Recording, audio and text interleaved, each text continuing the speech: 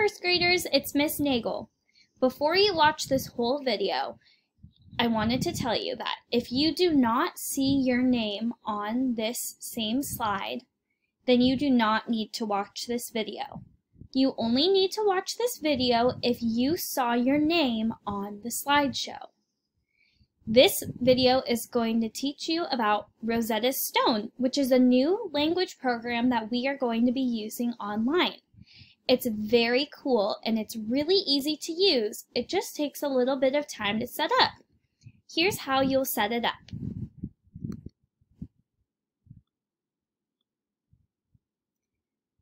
So first, let me just tell you a little bit about it. Rosetta Stone is a program on the computer that speaks two languages. You'll be able to listen in English and Spanish. It'll help you learn new words and then you'll know twice as many words. To open Rosetta Stone, you're going to log into Clever, just how you do for a lot of your other activities. Then you're going to see the Rosetta Stone picture. It's a yellow square with a blue stone. You can see it right here in the corner. That is how you'll log into the program. So all you have to do is go to Clever and click on Rosetta Stone. Then you're going to click on the first sentence that says Launch Rosetta Stone Foundations. It should be at the top, just like in this picture. That will help you open the program for the first time.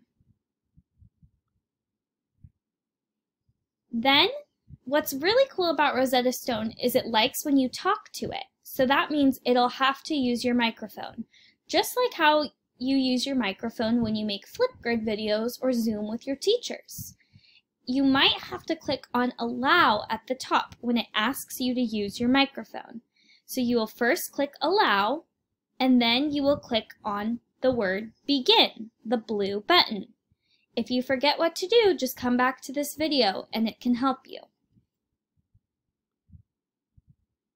After you make sure your microphone is turned on, you're going to click the blue Start button. That's called the core lesson.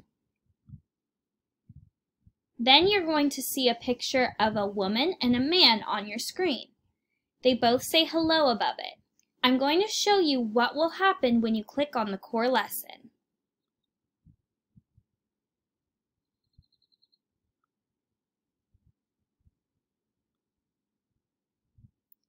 So see, she's going to check her microphone. One, two, three, four, five. One, two, three. It will then ask you to count to five. So once your microphone goes and you see the numbers, you'll say one, two, three, four, five. This is so the computer can get used to your voice. Hello. Hello. Hello. After you hear the woman and the man say hello, and you see the black box, you will then say hello. That's so the computer can get used to your voice. Hello.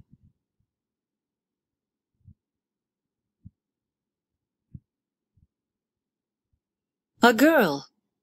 A boy. A boy. A girl. After she heard the word a boy, she clicked on a picture of a boy. When she heard a girl, she clicked on a picture of a girl. You will do the same thing when you log into Rosetta Stone for the first time. Easy peasy.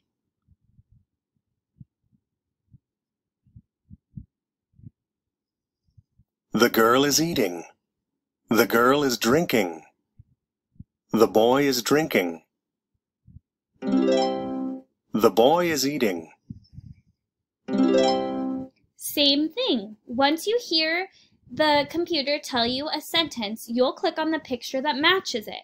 This is kind of how the rest of the lessons will be. Really easy and super fun. It's a great way to learn.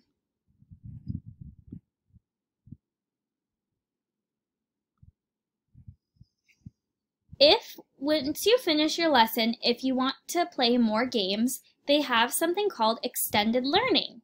You can listen to stories, record your voice, or play some games. These are some of the different games you can play.